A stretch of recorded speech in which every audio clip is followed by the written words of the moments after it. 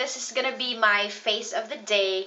And this look was inspired by Kim Kardashian, inspired by Say Tioco Artillero, one of my favorite YouTube gurus. She's a Filipina and she's a really great makeup artist based in Manila.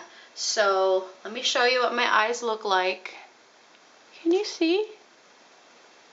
Okay, and my lips and my face. And now I'm going to show you all the products that I used and they're mostly high-end but I'm pretty sure there's a lot of other drugstore products that you can use to create the similar look. So first let's start with the face product. The foundation I used was the Maybelline Dream Nude Air Foam Foundation in Natural Beige and then I also used the Sheer Cover Concealer and this is light to medium. I use this color right here and I don't really like this concealer. Like, it gives me that grayish color under my eyes.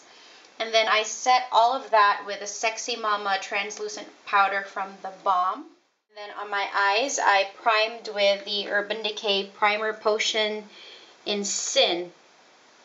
And then on my lids, I use this gold shadow called The Neighbor from The Balm and the Beautiful palette. That palette right there.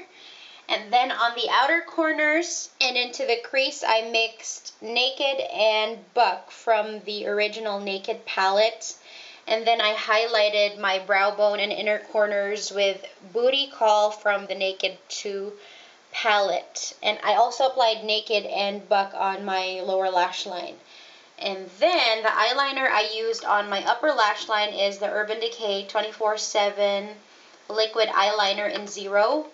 And then on the lower lash line, I use the 24-7 Glide On pencil also in zero. And then in between the two wings of my upper and lower liners, I use the NYX Jumbo Pencil in Milk, of course. Very, very popular product, and Say actually used the same product in her video as well.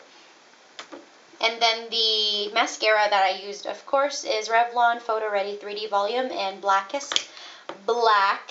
And then the lipstick that I have on right now is the Milani Color Perfect lipstick in Berry Rich. I use the Frat Boy blush from The Balm Cosmetics. It's a really pretty peachy color.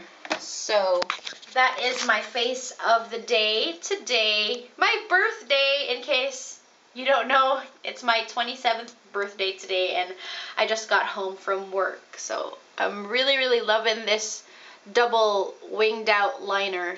It's so pretty. Thank you, Say, for making that video and making it look so easy. It's not, it's really not that hard. So if you want to know how I did this double liner thing, you can either post comments below and I will also post a link to Say's video because her camera is a lot clearer than mine and I think she does it a lot better because she's actually a professional. so thank you so much for watching guys. I will see y'all later. Bye.